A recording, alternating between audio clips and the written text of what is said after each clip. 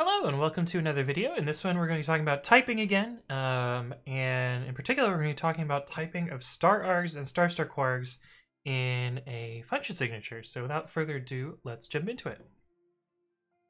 Okay, so I'm going to make a small example of a function that I often write when I'm dealing with the subprocess module, um, and it'll hopefully help demonstrate what we're working on today, uh, what, what, we're, what we're talking about today. So often when I'm working with subprocess, uh, and, and the signature of the actual subprocess function that I wrap, which is usually check call, uh, looks something like this, where the first argument is the command, and that takes a tuple of strings, or a, I guess it's a sequence of strings, more accurately, sequence of strings, and then it has a bunch of other keyword arguments. So it has like, you know, standard out equals, I think it's an int, it might be some sort of enum. There's also standard error, etc. There's a bunch of other arguments here.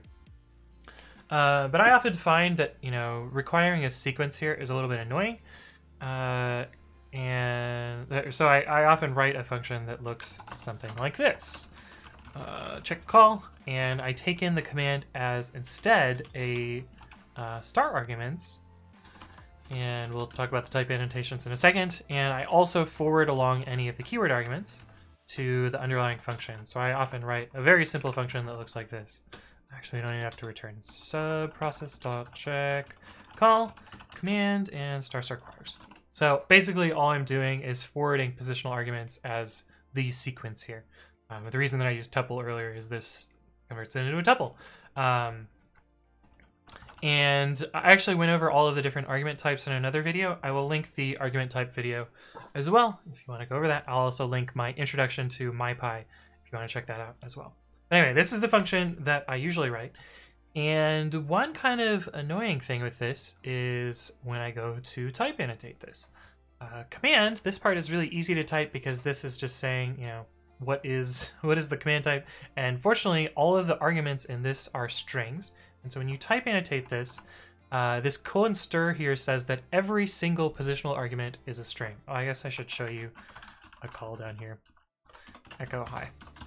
Whereas before I would have to do subprocess dot check call and then have an extra set of parentheses here, uh, which is just kind of annoying. But anyway, um, so what this is saying is that every argument in this you know collection of arguments is a string. Um, so you couldn't set, you couldn't represent something that's like, you know, one of the first positional argument is an integer, but the rest of them are strings. Like that's that's not a valid. Uh, there's no there's no way to type that in uh, the current set of typing. And uh, that brings us to a problem when we're typing star star kwargs. Uh, because the types of the keyword arguments for check call, uh, there's a bunch of different types here. I mean, I've only shown ints here, but there's also some Boolean arguments and some other stuff. And so we don't really have a good way to type these. And fortunately, or unfortunately, I guess, you can import from typing import any, and this will just say, you know, allow any argument here. Unfortunately, this turns off the type checker for any sort of arguments that you would pass here. So, you know, if you accidentally did, you know, like standard out equals foo, uh, and then we were to run mypy on this, mypy t.py, uh, oh, we need to pip install mypy, of course. And we do mypy t.py. You'll see that mypy allows this to succeed. However, if we were to run this file, you'll see that we get an error. uh, in particular, a type error, because this was the wrong type here. And so we don't really have a good way to represent the know, keyword arguments here.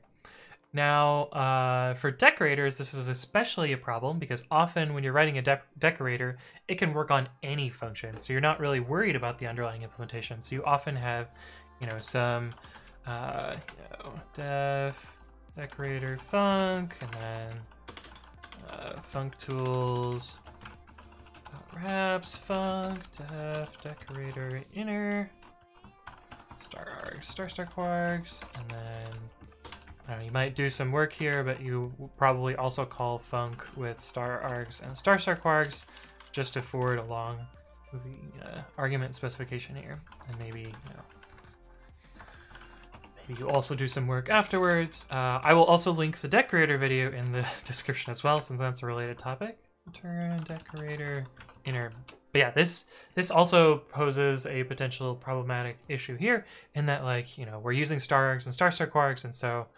naively you would end up having to type these as any, um, which is pretty unfortunate, and also I guess returns any as well. You don't have a great you know way to represent the actual type of this inner decorator. Um, but fortunately, there's a new thing that should land in Python 3.10 because it is accepted, uh, and that is this PEP612, which is parameter specification variables. Um, I'm not even going to pretend that I understand how this works because I have not really looked into this all that much. From what I understand, it's something similar to a type variable. This is the kind of the old way, and again, like where this would be problematic for typing these.